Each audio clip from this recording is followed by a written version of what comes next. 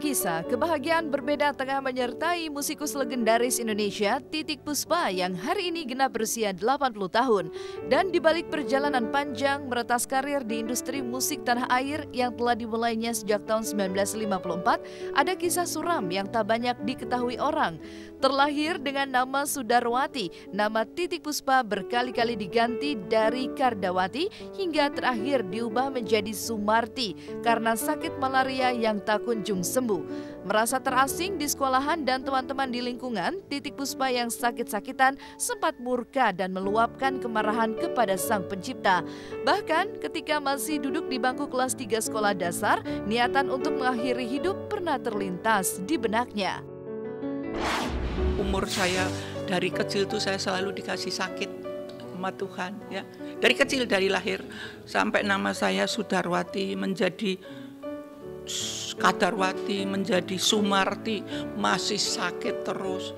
Sampai saya pernah ya mengeluh deh kalau tidak boleh dikatakan marah mengeluh sama Tuhan. Mengeluh kenapa semua orang boleh sekolah boleh ketawa boleh ini ke saya kok sakit? Di dalam hujan lebat tuh saya di tengah jalan karena disuruh pulang saya sakit itu waktu itu sakit malaria. Gitu hujan-hujan. Pulang. Pak Jawa ini Pak. Eh Jawa itu hujan Pak Bali? Jawa Pak. Aku kondo kowe Bali. Kok aku bilang kamu harus pulang. Eh kok begini? Saya pan saya pendeli itu. Guru itu. Pendeli itu saya pelototin saya ambil anu buku saya. Buku itu cuma satu untuk semua pelajaran. Terus aku di di di jalanan wah mana sang maha kuasa maha penyayang. Siapa yang disayangi? Saya disuruh sakit duer duer. Halilintar mas. Tidak takut. Bunuh saya saya bilang gitu. Memang saya mau bunuh diri. Udah saya pulang ke kampung saya itu namanya Keranggan ya. Masuk ke satu apa jenenge? Ada hmm, kebun buah itu ada mengkudu, ada itu, ada semua buah zaman dulu tuh ada. Tapi saya ambil yang muda-muda, yang masih ada getahnya. Oh, mentah, getah lagi supaya membunuh aku. Tak masukkan ke rok saya segini, saya masukkan ke lumpang. Apa sih lumpang itu apa? Tempat orang numbuk padi itu apa? Lesung. Nah, lesung, ya itu. Brooks, ya ibu saya nanam pohon cabai rawit, tak semini buah garam cukup cukup cukup itu sampai piringnya muncung. Sampai sampai segitu.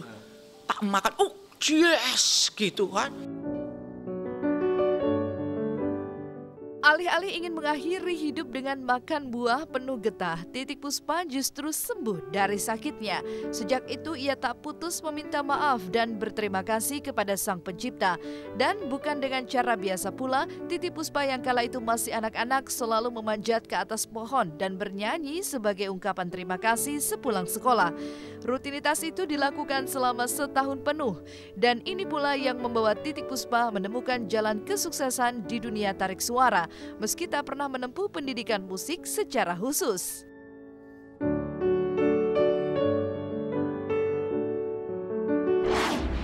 Aku naik di atas pohon jambu, jadi kebun itu juga, Tuhan kenapa Tuhan kok tidak marah dengan saya?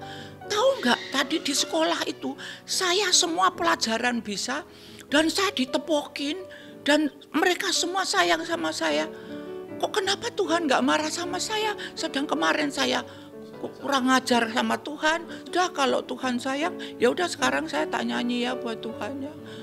Aku terus nyanyi. Di atas pohon. Dinyanyi di atas pohon itu lagunya Jawa semua.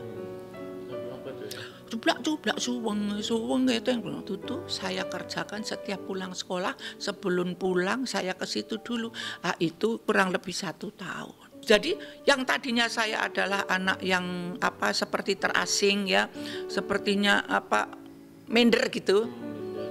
Saya menjadi periang. Dari situlah aku bahwa saya percaya Tuhan itu ada. Ku punya bumi, hutan, gunung, sawah, lautan, berjuta marga satwa dan berlimpah hasil bumi. Inilah Indonesiaku yang ku bangga dan ku cinta.